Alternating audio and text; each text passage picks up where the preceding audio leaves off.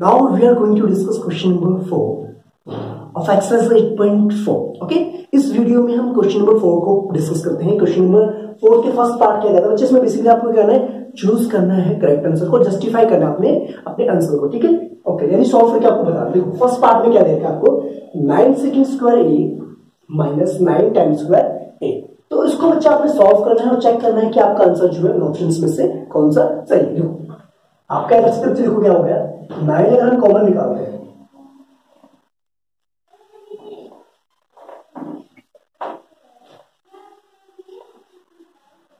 ठीक है बच्चे, अगर हम नाइन इसमें से कॉमन निकालें उसको हम इस तरीके से लिख सकते हैं?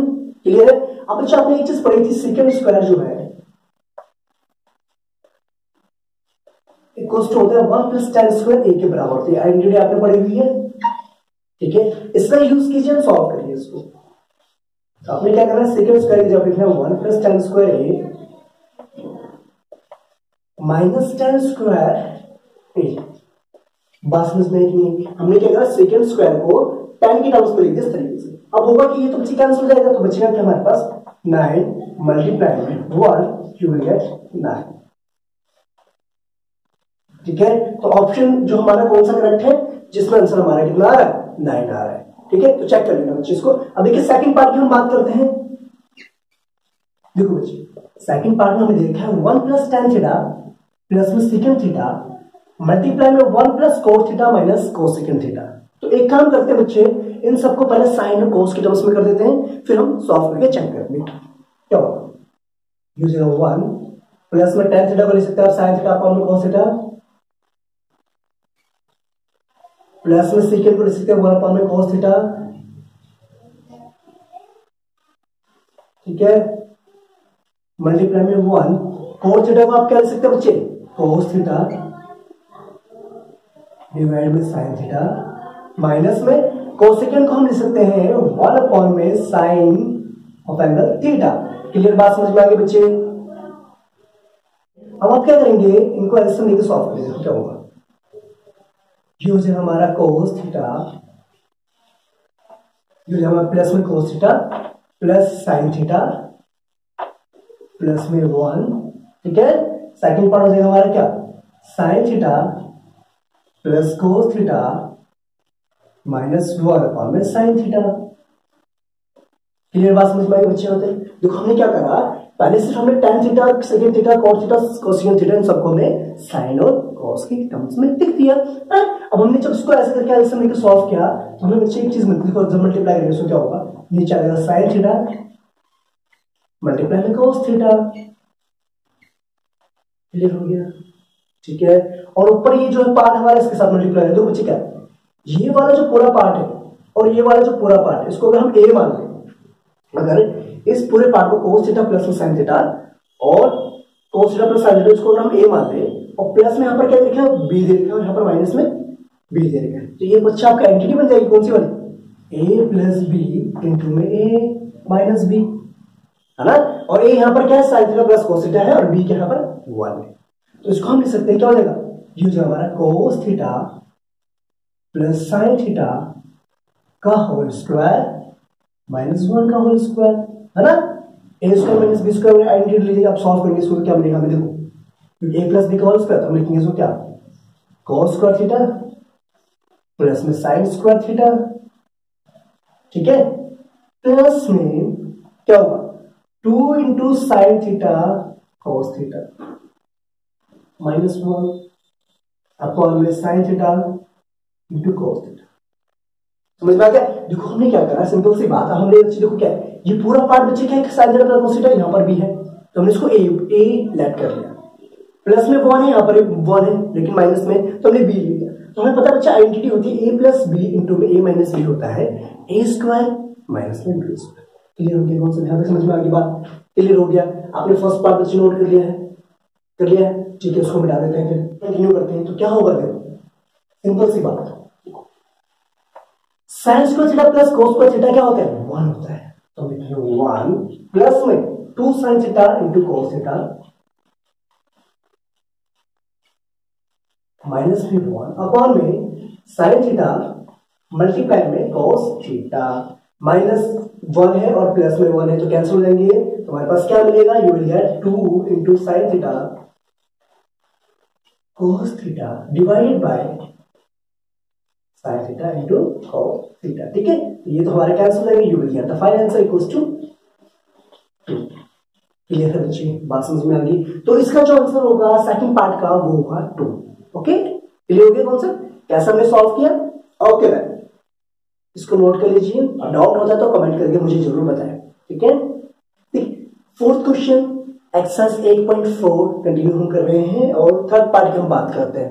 देखो हमें देखा सेकंड ए प्लस में टेन ए मल्टीप्लाई में वन माइनस साइन ओके तो बच्चे हमें करना क्या? इसको सॉल्व करके हमें निकालना है कि चार ऑप्शंस में से कौन सा हमारा करेक्ट फोर ऑप्शन है ना?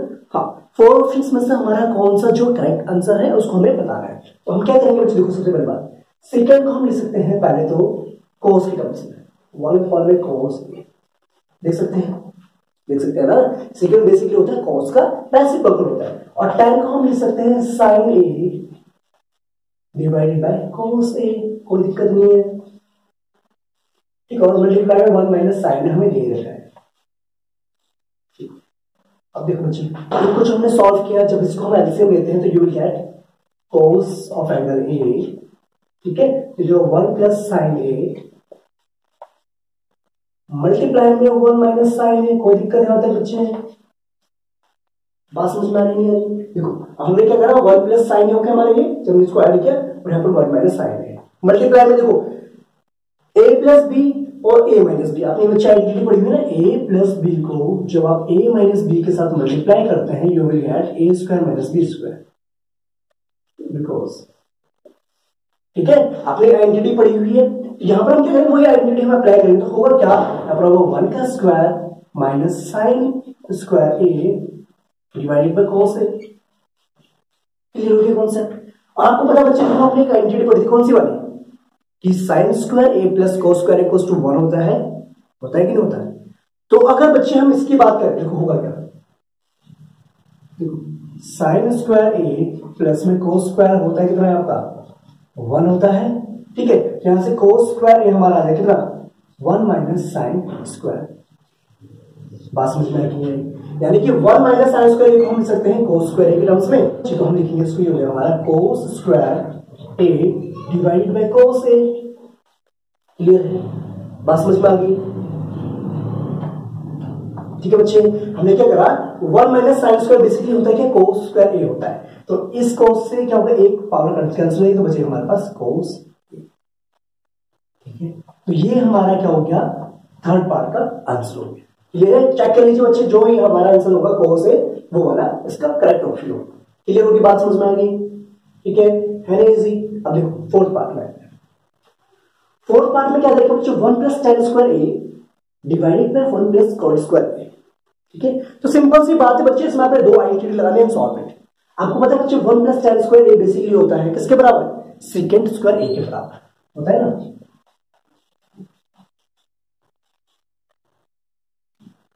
ए के बराबर होता है। और one plus cot square A होता है आपका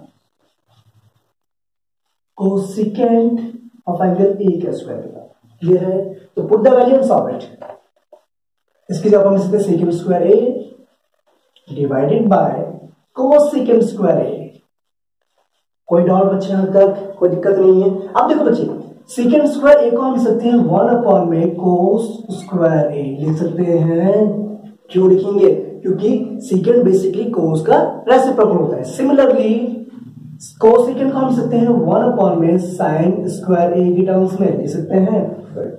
अब होगा क्या बच्चे जो नीचे वाला पार्ट ऊपर चले जाएगा हमारा sine square A divided by cos square A ये बेसिकली क्या होता है बच्चे? साइन अपॉन में कोस क्या होता है? टेन ए होता है ना? तो हम लिखेंगे यहाँ पर tan square is the final ठीक है? तो हमने क्या करा बच्चे, पहले one plus tan square basically होता है सेकंड स्क्वायर ए होता है और वन प्लस स्क्वायर होता है, को सेकंड स्क्वायर ए होता है। ना? तो हमने पुट करी वैल्यू यहाँ पर। सेकंड को हम लिखते वन अपॉन में स्क्वायर ए ठीक है? और को सेकंड को हम वन अपॉन में साइन स्क्वायर ए ओके बच्चे, हमने क्या करा, जब इसको सॉल्व किया तो हमें मिला साइन स्क्वायर अपॉन में स्क्वायर और साइन अपॉन में कोस होता है बेसिकली टेन होता है, और टेन का स्क्वायर हमारा ये आंसर आ जाएगा, ठीक है? तो इसके अकॉर्डिंग जो फाइनल आंसर होगा, वो आपका ऑप्शन में करेक्ट होगा। बात समझ में आ गई? तो this was question number four I hope कि आपको पूरा समझ में आ गया होगा। अब बच्चे, जो फिफ्थ क्वेश्चन है, उसके हम डिफरेंट पार्ट्स को इंडिविजुअली जो है वीडियोस में डिस्कस करेंगे। ठीक है, जिसमें हमें प्रूव करना है using identities till that take care Jai Hind and